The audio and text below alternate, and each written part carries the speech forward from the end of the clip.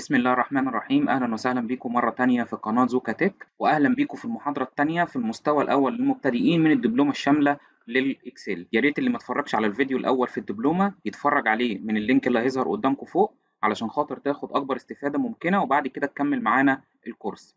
يلا بينا نخش على المحاضرة التانية.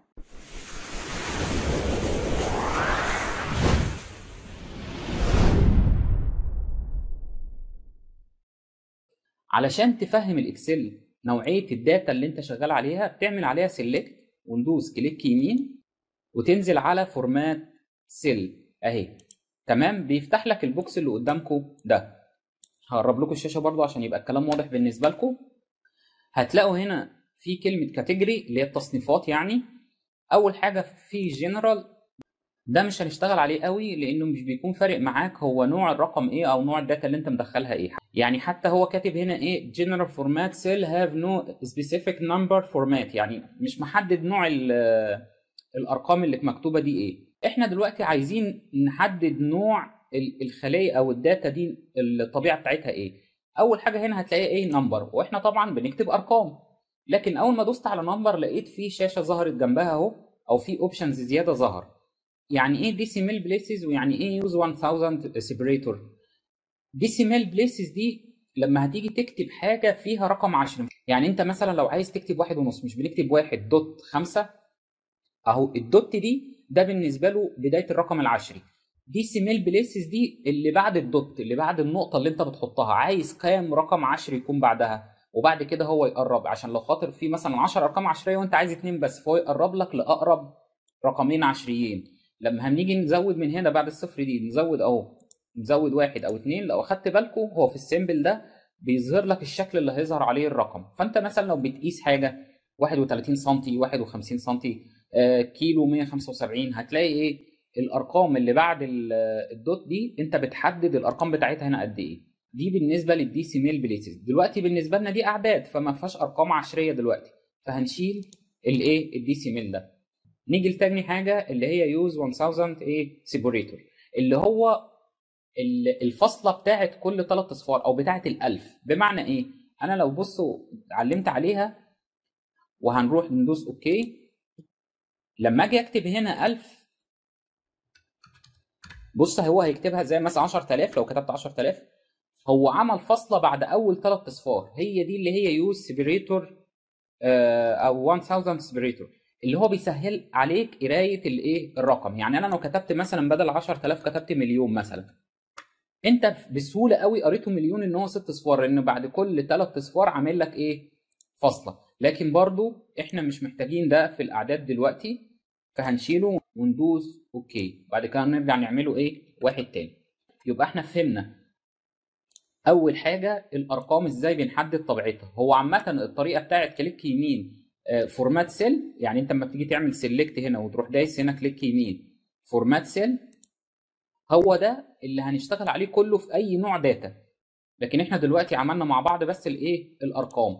في حاجات اما بتكتبها بتلاقي ال Excel قراها لوحده وعرف طبيعتها. زي مثلا الكلمات أو الحروف. لو دوسنا click يمين هنا ونزلنا على format cell هتلاقيه هو على طول مختارها لك text هي طبيعتها text كلمات. تمام؟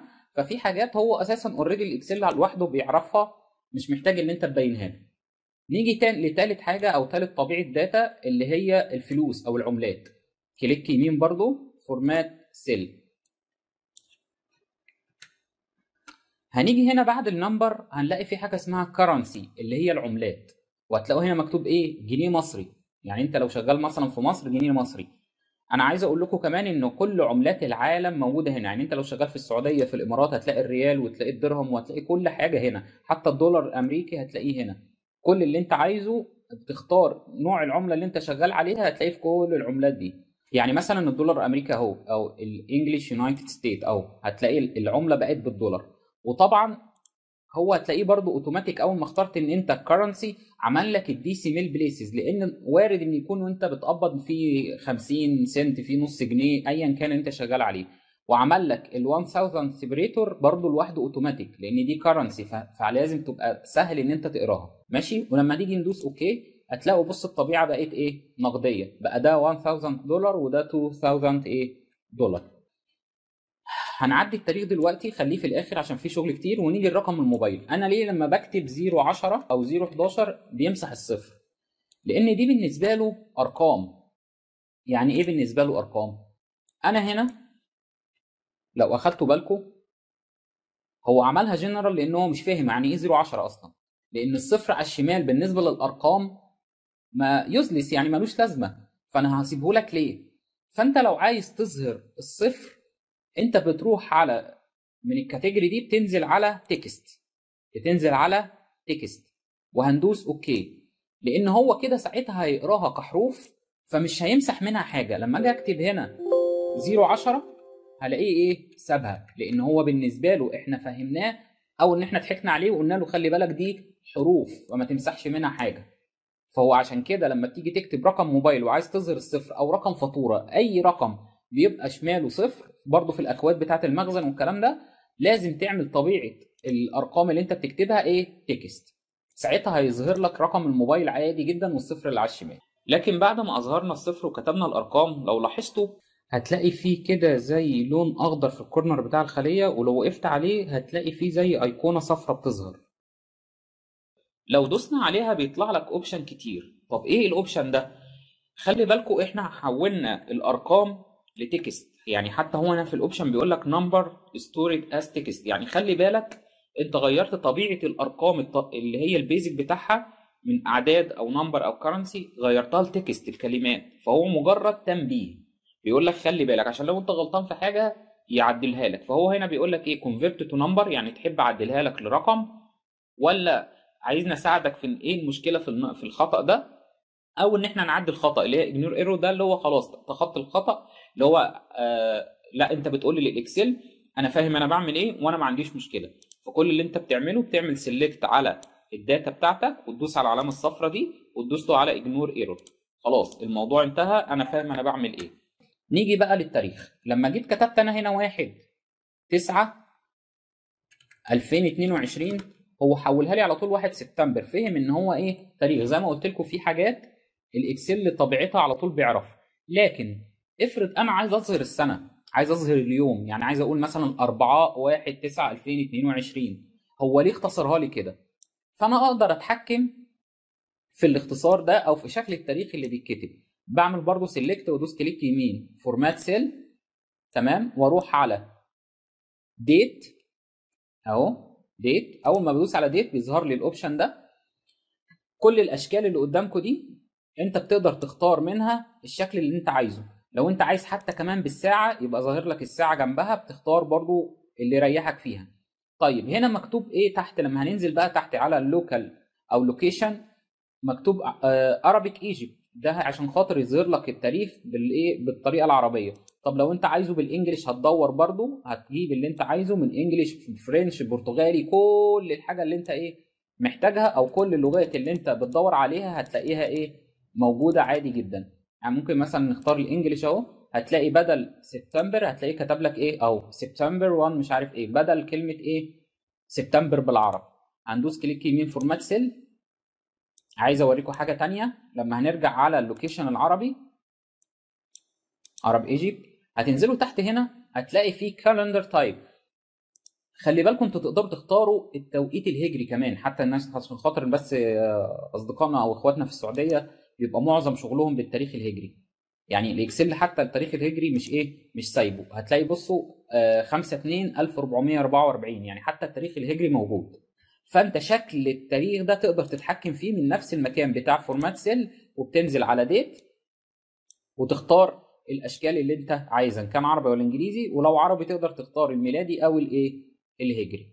يبقى إحنا لغاية دلوقتي اتعلمنا مع بعض إزاي نعمل العملة والتاريخ ورقم الموبايل. text طبعا هو أساسا already ال Excel بيقراه لوحده والايه والأعداد.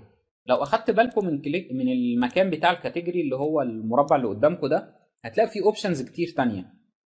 يعني هتلاقي فيه time شكل الوقت انت عايزه إزاي. هتلاقي فيه accounting ده شغل محاسبين. كل اللي انت هتحتاجه أو كل الحاجة طبيعة العمل اللي انت عايزه هتقدر تلاقيها موجودة هنا. حتى لو هي مش موجودة في ال Excel هننزل تحت على كلمة custom دي وتكتب طبيعة الأرقام أو ال data اللي انت بتدخلها. مثلا أنا هقول لكم على حاجة. إحنا هنا هنعمله مثلا تاريخ ميلادي تاني. عشان بس أفهمكم custom دي بتتعمل إزاي أو أو إيه الشغل اللي ممكن تعمله عليها. إحنا هنرجعه ده عادي آه، ميلادي. أهو. ماشي okay. خلاص 1 9 2000 إيه 22 ده المفروض إيه؟ تاريخ. لو أنا عملته كده click يمين format cell ونزلت على custom هو تاريخ وأنا كاتبه تاريخ.